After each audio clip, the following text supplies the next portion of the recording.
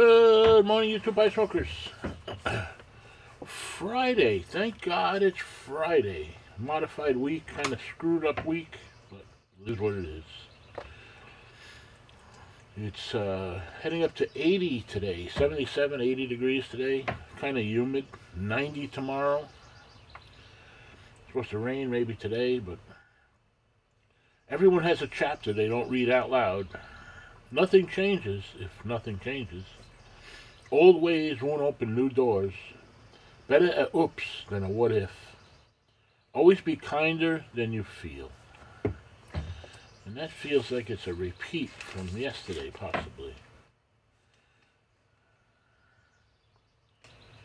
Oh, it's a repeat from Wednesday. Huh. That's a first. Anyway, it's a good message nonetheless. Be well, get outside, stay safe, stay cool. I'll catch you on the next one. Thank you.